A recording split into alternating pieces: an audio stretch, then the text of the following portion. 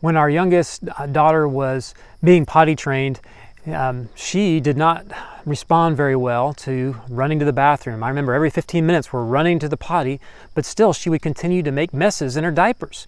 But I finally figured out that it was not, not I, my wife finally figured out and told me that the reason was when she messed up her diapers, she was so comfortable that her mom or dad would quickly change her diapers, she didn't have to sit in it long enough to feel the consequence of not going to the bathroom.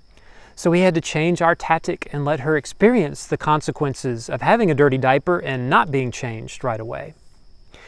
Well, I learned something from that because when I come to 1 Peter chapter 1 verses 15 and 16, we see God's command to be holy because he is holy.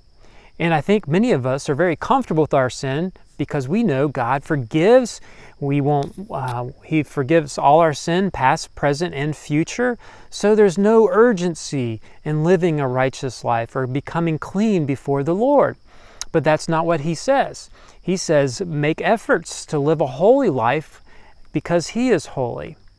And so today, if you haven't thought about any of the sin in your life recently, today's the day. Ask God, where am I staying messy in my life? What is that sin I need to address? And the second thing you need to ask is for His help. We can't overcome sin on our own. Ask God for His help to live a holy life, and He will respond to you today.